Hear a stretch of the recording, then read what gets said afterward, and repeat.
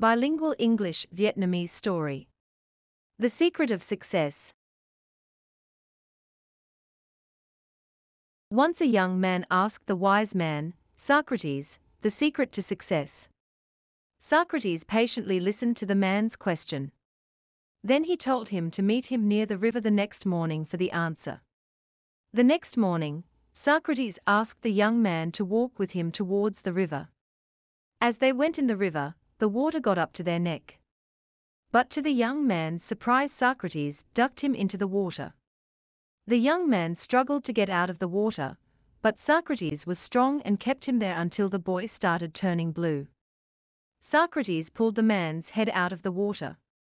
The young man gasped and took a deep breath of air. Socrates asked, What did you want the most when your head was in the water? The young man replied, Air. Socrates said, That is the secret to success. When you want success as badly as you wanted the air while you were in the water, then you will get it. There is no other secret.